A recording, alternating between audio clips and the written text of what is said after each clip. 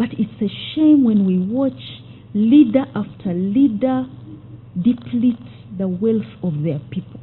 It's shameful, is deplorable, and is immoral. Do you know what immoral means? You have pushed corruption to the levels of immorality as never seen in this country.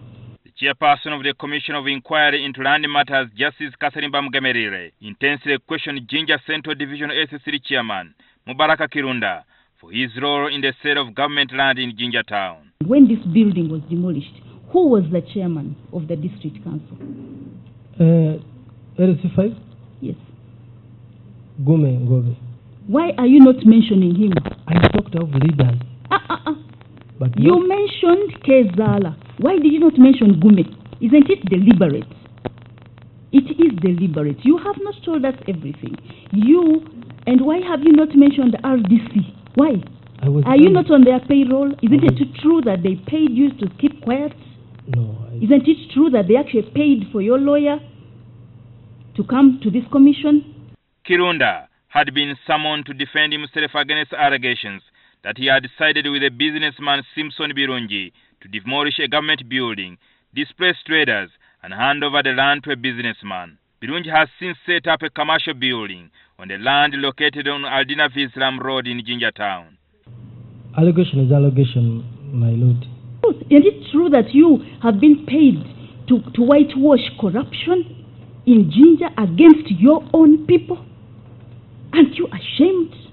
Kirunda's uncle Haji Kirunda was among the traders evicted. The elderly man who attended the commission was reportedly betrayed by his nephew. While addressing the commission, Mubaraka Kinunda seemed uneasy mentioning his uncle's full names to the surprise of the commissioners and the audience. Who is your mzee? I have my uncle, my dad is, is even here, What is his name? Haji Dakava. I know the name. Give us the name.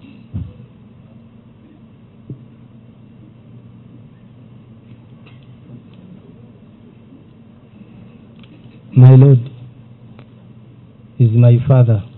Just if you don't know people, just say I don't know. Okay, the name has gone out of my head. Yeah. And your uncles there were the first businessmen in Jinja and they got plot 60 and 62 and were able to trade. Are you proud that you people in Jinja have given away every business land, every government building, every green space, every little bit of, you know, what was for the people, for yourselves?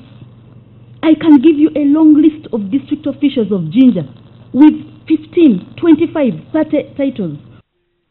Aria Yusuf Kakero, who at the time in the land sale in 2011 was a Jinja District Lands Officer, accused the then Jinja District Chairman Frederick Ngobi Gume, who is now the State Minister for Cooperatives, of aiding and abetting the illegal land transaction. It's Honorable Frederick Gumengobi.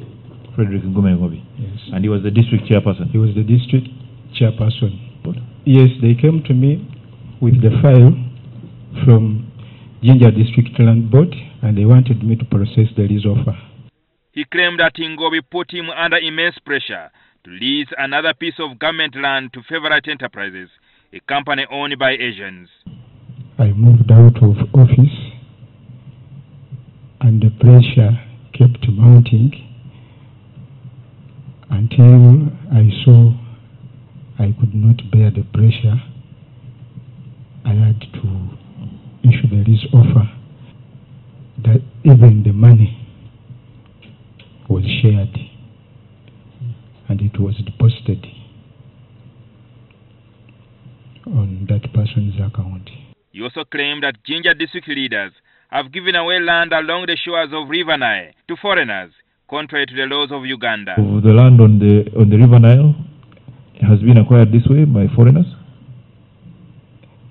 Yeah, my lord, there are foreigners who have been acquiring land along along the River Nile, and the the the, la- the land board has been giving them leases, and even in in rural areas.